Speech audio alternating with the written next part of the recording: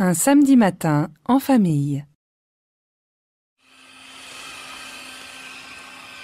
Chérie, tu as fait les courses? Bien sûr, j'ai fait les courses. Mais où est-ce que tu as mis les paquets? Regarde, j'ai tout mis sur la table de la cuisine.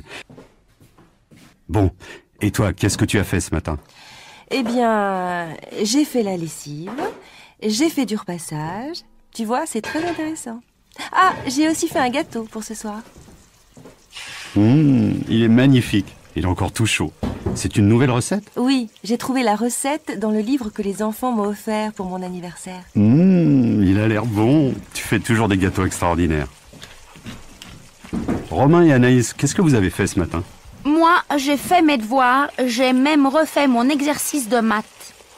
Moi, j'ai appris mes leçons et j'ai fini ma carte de géographie.